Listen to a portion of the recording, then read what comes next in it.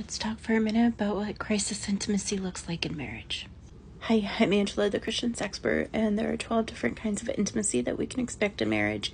Sex is only one of them. Today we're going to talk crisis.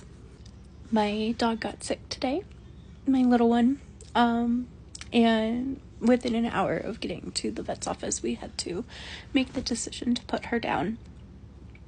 Um, my husband had, when I had decided that I needed to take her into the vet. He had just walked into the amusement park where he was going to spend some me time, some of his unicorn space time.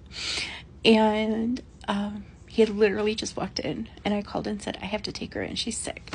And he turned around, drove the hour to the emergency vets, and um, helped take care of our son during the process.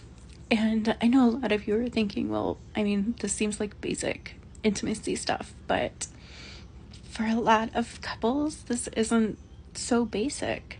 Some couples really struggle with crisis intimacy and how to support each other during a crisis. Um, so it's things like my husband has given me the space to just hole up in my bed.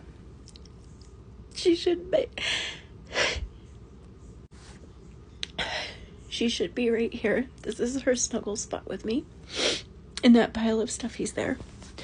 Um, but my husband has just given me the space to lay in bed and be sad. And he went and he picked up our dinner. He took care of my son.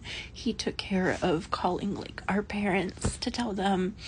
Um, he took care. I had pulled meat out for dinner. He took care of browning that up so it wouldn't go bad and getting it into the fridge so I can deal with it tomorrow. Um, he has held me as I cried. And I realized there are some couples who wouldn't have, and all of this has been done without me having to say, hey, please go pick up dinner. You know, hey, please take care of the ground beef that was sitting out. Like, it's just things that he is doing because he sees a need and he's filling a need. Um, and not every couple has that. Some some couples um, they really have to say like i don't feel supported in the middle of this crisis. I want you guys to think about the last time that you experienced a crisis and i want you to talk about how the next time a crisis happens you can draw closer together. Be good to each other